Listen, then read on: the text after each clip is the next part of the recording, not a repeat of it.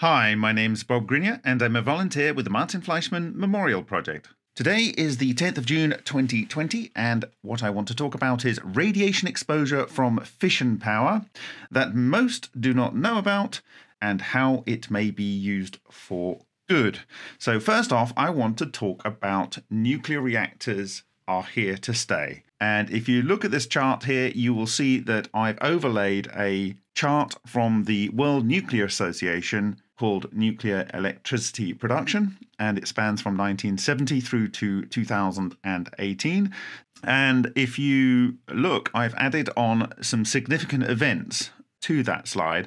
The first is in 1979, and that is the Three Mile Island accident. And if you look around that, leading up to that, it seems to be looking like an almost an exponential curve of world nuclear energy production increase. Then there's a kind of slight flattening off in that year, and then it continues on as if nothing else happened. Then, if you look at first, second quarter, 1986, we have the Chernobyl incident, and really that did not make a dent in the increase in production of nuclear electricity.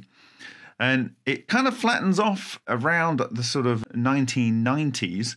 And then we have the dot com crash in 2001. And there's basically a ripple around that time, kind of still trending upwards. But it isn't until we kind of get towards and, and around the financial crisis in mid 2008 that we see it kind of a, a roundabout flatten. But still, you would argue that the trend is upwards. And it isn't really until the event of Fukushima Daiichi in March 2011 that you really see a big drop away from the 2010 figure and and then it goes really quite a lot down. And so what actually happened then is essentially all of the reactors in Japan were taken offline but from that point onwards, you see this growth continuing up there, and I'll explain where that came from in the next slide. At the end there, you see a note that I've put down the bottom that four of the Japanese reactors were started in 2018, and the data from the World Nuclear Association kind of falls away at that point in this chart. So, how did you see this increase after the initial drop after Fukushima Daiichi? How can we explain that? Well, that is essentially the capacity massively increasing in China. So if we go back to the previous slide, you will see that it is the light blue at the bottom, the Asia area, that precipitously drops due to Fukushima, and that's because Japan has gone offline. And then it goes back up, and that is because we have the production in China really skyrocketing. The reality is, many reactors are 40 years old, and there is data out there that's saying they expect these reactors, which were never meant to last for 80 years, to last for another 40 years. So that is for old reactor designs, and one might expect that new reactor designs could even fare better and last for longer. And so it's reasonable to say that the reactors that were installed in this century will outlive all of the 6.1 billion people that were born in the last century. So think about that for a minute. The isotopes that I want to raise your attention to are two. The first of those is 14 carbon, and there is a well known risk since 1977 and this is a study that was done by the Oak Ridge National Laboratory. This is operated at the time by Union Carbide Corporation. One might think of them, unfortunately, for the world's worst gas leak, which may have killed up to 8,000 within two weeks of the event and 8,000 since and harmed over half a million Indians. Uh, that was a corporation that was approximately 50% owned by Union Carbide, but actually that occurred in the 1980s. So, this actual study, as you see in the highlighted text that I've got down on, there on the right, it was published in 1977. So it was actually before that accident. And this study is looking at all the different ways that carbon 14 is produced in nuclear reactors and what is done with it. I recommend you go and look at it. I've given the link there. And in fact, all of the links in this presentation will be given in the presentation that will be given as a PDF in the description to this video. So, 14 carbon production and disposal. Well, naturally, in your body and in all living organisms on Earth, you typically find around about one part per trillion in biological material. And this is as we believe, uh, synthesized by 14 nitrogen in the air, which is 78% of the air that you're breathing right now, and cosmic ray interaction. And this leads to CO2 that is containing a proportion of 14 carbon, and that enters into plants through photosynthesis and then animals eat plants and it enters into all other life on the planet. Now, in a nuclear reactor, the same process, which I've highlighted in reaction two, which is from that report I gave on the previous slide, is the NP reaction with the 14 nitrogen to 14 carbon. So this actually occurs also in a nuclear reactor, but also you can get the ND, that's a neutron in and a deuteron out, and the production of 14 carbon, but also reactions with 16 oxygen and 17 oxygen, producing three helium and four helium or alpha particles to produce 14 carbon. Now, there is another reaction, that is the neutron gamma reaction from 13 carbon to 14 carbon. And the natural carbon in the environment, as well as being one part per trillion carbon 14, is also 1.1% carbon 13. And this breeds under the neutron flux in the reactor to this carbon 14, just adding another neutron in there. So it's a slightly heavier isotope.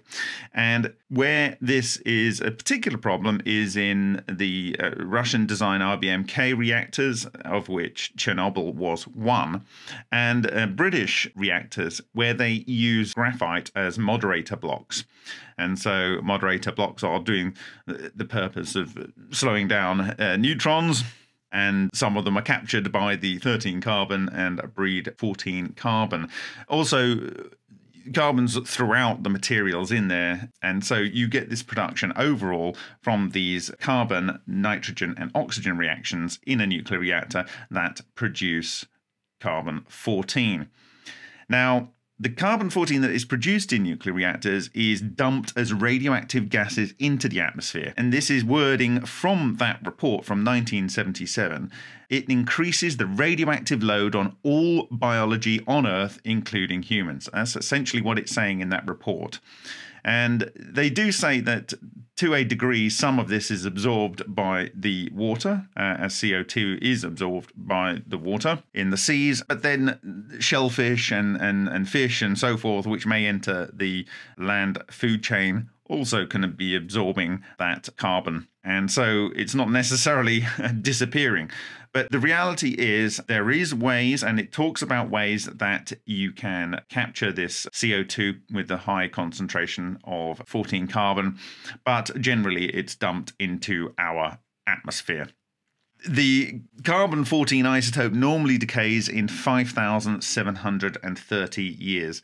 And that's the basis of radiocarbon dating. So, your load when you're alive, or an animal or a plant when it's alive, it absorbs from the CO2 in the environment. But when it's dead, it can't actually take on more carbon 14 and so the proportion of carbon 14 goes to half its activity over 5,730 years. So if you have, say, a, a man found in a peat bog and you do a carbon dating on it and it has the half the output of a typical animal that would have died yesterday, for instance, you can suggest that it may be around about 5,730 years old.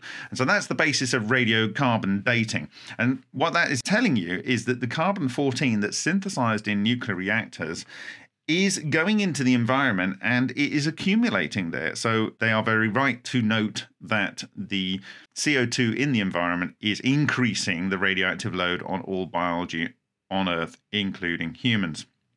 Now, that's carbon 14. The other isotope I want to talk about in this presentation is 85 krypton, and that was well known, I've put in inverted commas again, risk since 1960s. And this was really brought to the fore in the Soviet sphere by one Ivan Filimonenko. And Ivan Filimonenko is uh, someone that's not really known about, really, with a lot of cold fusion and low energy nuclear reaction researchers. But apparently, he developed a palladium deuterium cold fusion in 1957. But this, unfortunately, was under secret programs. So, really, it is Martin Fleischmann and Stanley Pons that should get credit for really making that something that people were aware of. And in the 1960s, he warned about the emissions of 85 krypton from the plutonium production for the nuclear weapons race and from fission power generally. And the story goes that uh, people really didn't like uh, this conversation being had out into the open. And so he was kind of um, incarcerated for his views. In, interestingly enough, he came back after the 1989 announcement and, and worked a little, as I understand it, on energy nuclear reaction after it was brought into a public sphere. So I think it was a case of, uh, oh, we were doing this in the 50s and 60s, and so maybe we can see if it works again. Anyway, there's a little YouTube link down there, and you can see him talking about his experiences. And there, there's other media on the internet uh, about that. But really, I just want to raise this uh, point about the 85 krypton. Now, the 85 krypton production and disposal, it is basically a synthetic isotope uh, produced in nuclear fission reactors, uh, as uh, Filimonenko um, was warning about. And there are some small natural sources, and you can imagine that, it, you know, uranium's there are much rarer element isotopes and, and even elements than uranium in the Earth's crust. And so, if you can imagine you've got a volcano and it's belching out a lot of fumes, or an earthquake releases a load of gases, um, then uh, uranium decay will have produced some of this uh, noble gas, which will then be released in those events. But um, the bulk of uh, the additional uh, um, 85 krypton comes from uh, man actually fissioning uh, uranium. And the uh, yield is three, 0.3%. So you get um, uh, three atoms of 85 krypton for every 1,000 uranium 235 fissions.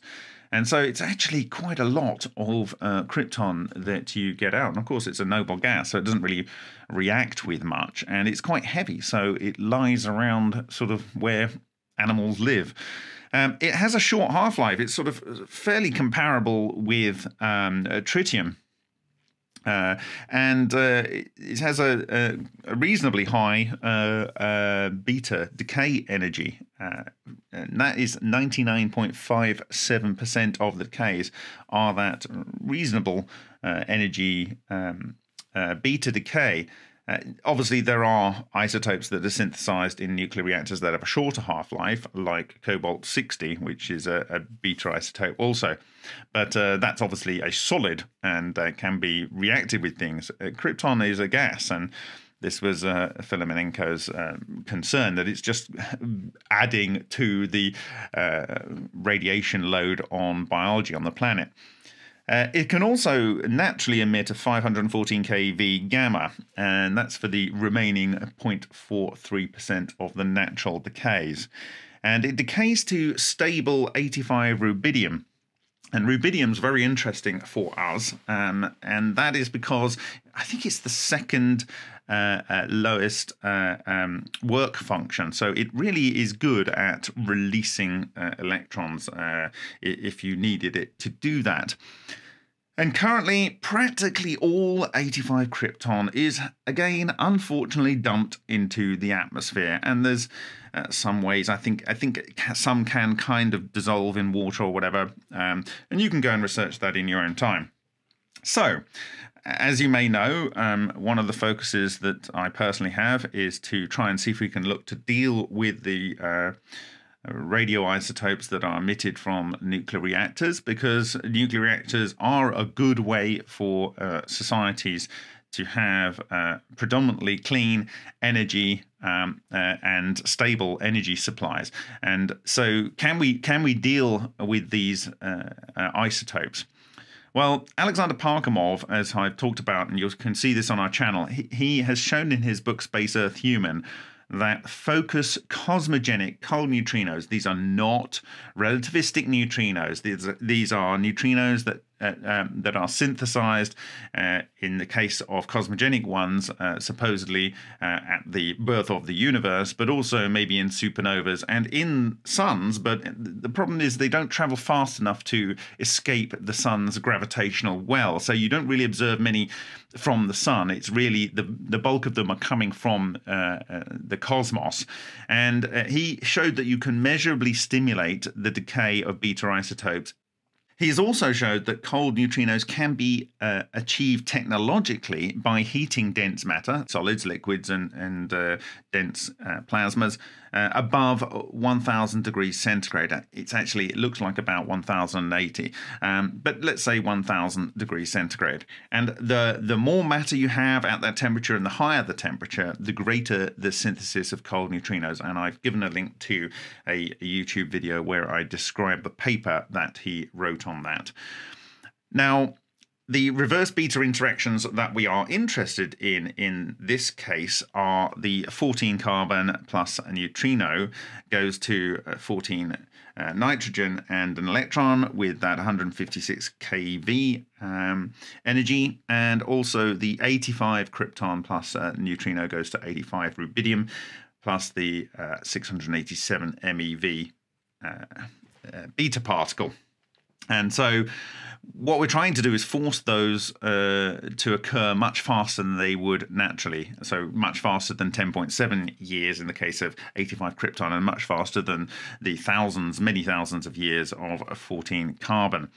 Now, if MFMP's supernova experiment shows stimulated beta decay of either 40 potassium or 14 carbon, then it opens up the opportunity to deal with these radionuclides. So, can we use these isotopes to produce uh, efficiency gains or power generation in uh, technological devices? Well, the supernova reactor, and you can look at, uh, if you just search for supernova on our channel, you can see all kinds of videos, and so you can really understand what it is and, and so on, the plans for the testing. That reactor is a dusty plasma device, and the dust that it starts with uh, is carbon. It looks like that that would synthesize through uh, George Ohsawa nuclear transmutation reactions um, the kind of uh, elements that you have in your body, but it starts uh, predominantly with carbon dust. And carbon is dense matter and it has the highest melting point of any element. And so this would be expected, according to uh, the understanding uh, put forward in Space Earth Human by Alexander Parkhomov, to produce high levels of cold neutrinos.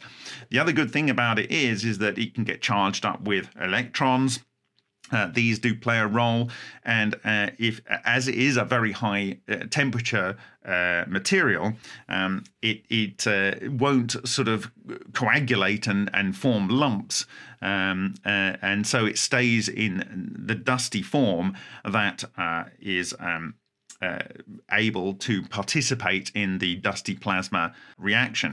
Now, elements that are synthesized, as we've done in uh, uh, NOVA testing in the past, things like silicon and, and things like uh, iron and and and uh, calcium, th- these things can coagulate and they tend to drop down and form lumps of material at the bottom of the reactor. But anyway, Essentially, carbon is a dense matter that has the highest melting point of any element, and so would be expected to produce high levels of cold neutrinos. Now, normally in a supernova experiment, a proportion of the carbon is oxidized via air contact. But what if the air was replaced with 85 krypton, which is, as you know, a noble element?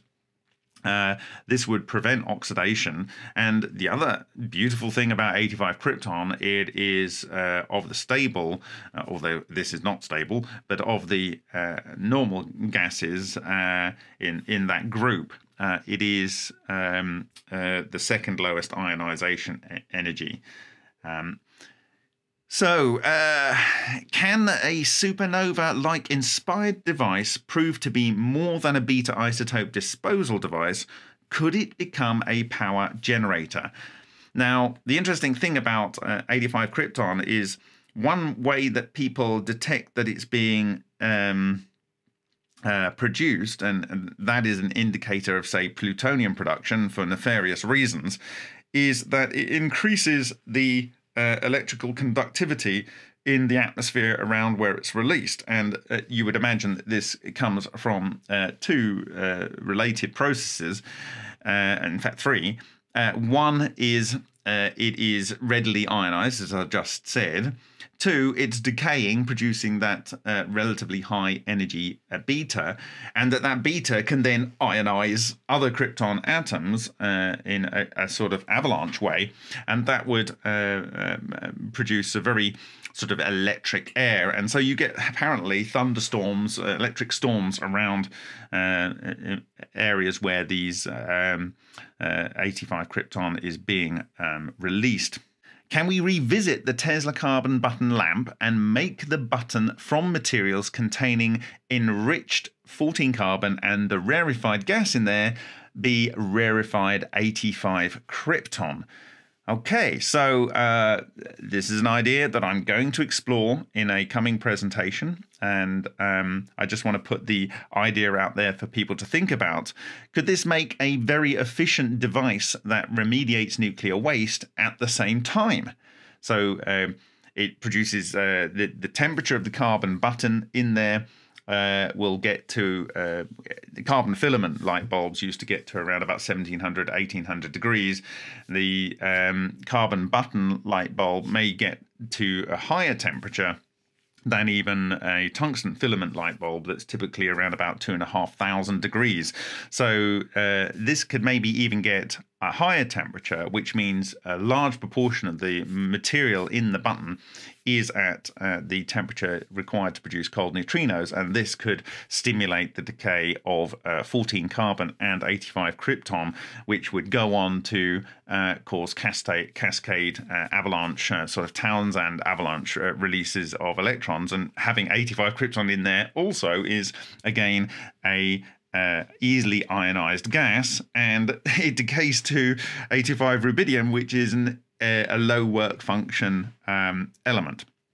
So there's plenty of opportunities uh, for that. So I want to look at this in a serious way in a coming presentation. And because of all those avalanche effects and the release of free electrons and, and so forth, and, and the low work function material that's a byproduct, could we even get to um, making a device like this uh, become a direct electricity generating device? So I want to put that idea in your heads now. Now, can we combine this idea with the uh, recently exposed uh, idea of the vacuum capacitor? Uh, it, there is a link there to the YouTube presentation where I discuss the vacuum capacitor. So can we use the 85 krypton in the vacuum capacitor to make a far more efficient vacuum capacitor and potentially with a net gain? Can we produce a hybrid Tesla carbon button vacuum capacitor device using primordial and or synthetic beta isotopes to form the basis of a combined electrical generator and storage device? Wow, I mean, for me, uh, this is a concept I came up with within 12 hours of seeing uh, the vacuum capacitor. And, uh, um, you know, I would love this to be uh, researched, really, um, because many of the things like uh, radioactive elements, even electrons, X rays, and all kinds of things, even neutrons, uh, and the understanding of transmutation, fission, fusion, none of this was on the table when Tesla was awarded his carbon button patent. Um, so I think uh, you know there's some serious opportunities when you. Uh, um, if we can demonstrate that the supernova does uh, reduce the amount of uh, 14 carbon in a sample that is in there, then the, it's it's off to the races uh, with this technology. Really, there's so many ways you can go, and I'm trying to spell out options potentially if if we uh, manage to achieve that. Uh, even still, I would suggest that the carbon button lamp uh, needs to be revisited in the context of uh, other aspects that have been learnt about since.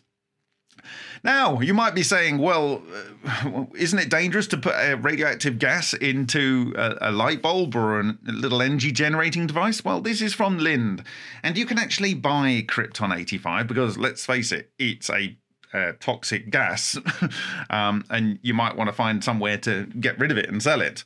And it says here on their website, which I've given the link to the product page, Krypton 85 is a radioactive gas found in the atmosphere and produced by nuclear explosions, nuclear power plants, volcanoes, and earthquakes. Krypton 85 is odorless, colorless, tasteless, and emits low level radiation of both gamma and beta radios, rays. Krypton 85 is usually produced in gas mixtures with argon or xenon to improve the ionization in light bulbs by reducing their starting voltage. It is also used in plasma displays, uh, spark gaps, and for leak detection. It's already used in light bulbs because for the same reason it causes uh, electrical storms around uh, plutonium production or, or, or you know fuel processing from uh, you know used fuel rods from nuclear reactors and even nuclear reactors themselves. Um, that's why it's put into light bulbs and plasma displays.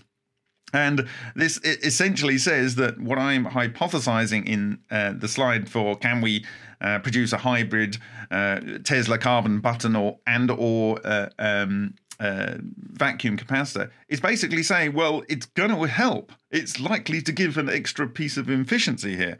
Uh, and so, um, you know, there's quite a lot of reasons to consider this as a way forward. So here's my conclusions. From today, as long as most organic lives living today will live on Earth, nuclear reactors will be present, producing radioactive beta isotopes at least two of these, 14 carbon and 85 krypton, will, if nothing is changed, be almost entirely dumped into our biosphere. It doesn't matter what comes along. When you sign these contracts for these reactors, you know, for instance, the new one that's going to be built in the UK, it's guaranteed for 50 years. So it's definitely going to be here for 50 years. It's going to outlive me. So it's going to be producing 14 carbon and 85 krypton, which will essentially be, for the most part, dumped into the atmosphere. Now, this is a toxic waste emission. Can we make it into a valuable commodity? We should explore the possibility of the use of these isotopes to produce energy or greatly increase efficiency in the process of reducing their activity. So I'd like to thank you for listening. Um, I I'm uh, really happy that I was able to get this uh, concept out to you, and I'd really like you to think about uh, the implications. Uh, this is leading into the testing of the supernova reactor, but as I say, I want to do uh, first a kind of explanation of how the Tesla carbon button light bulb worked and how we might be able to make that into uh, potentially a more efficient device or a, uh, a, generator or a generator storage device using the concepts I put forward in this video. And I'd also like to say that uh, it's about 67, 68% of you that watch uh, MFMP videos that are not subscribed. And so you are missing out on getting the the sort of uh, uh, first look at videos like this. And if you like the uh, volunteer work that we do and uh, you like the, the sort of ideas that I'm able to present to you, uh, please consider uh, donating uh, to help us. There are descriptions of how you can do that in the uh, video description. So thank you very much for your time, and I will see you in the next video.